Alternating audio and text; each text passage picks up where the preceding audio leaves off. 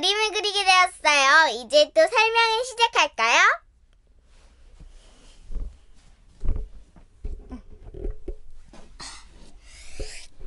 자, 그럼 시작합니다. 저는 결혼식을 그렸어요. 뜬뜬뜬.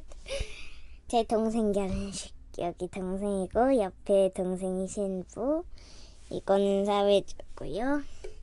이거는 저고요. 저는 이미 딸 하나 낳고 엄마랑 우리 아빠랑 할머니 할머니 할아버지.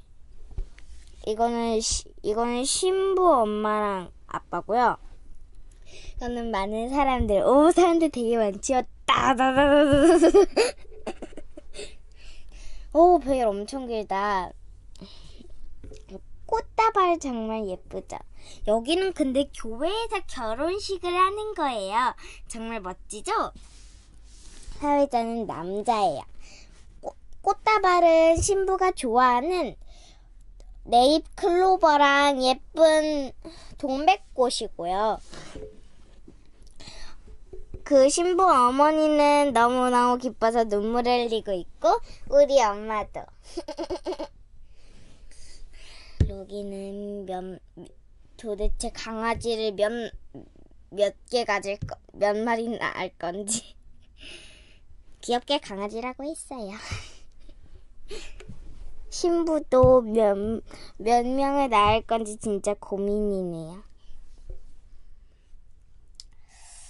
그리고 이거는 예쁜 초롱 다이아몬드예요.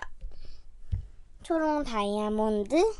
이거는 사파이어고 사파이어라는 어떤 파란색 보석이 있어요.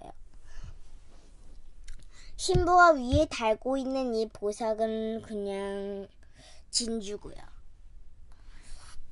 두 개에 보통 진주가 붙어 있더라고요. 그럼 다 설명했죠?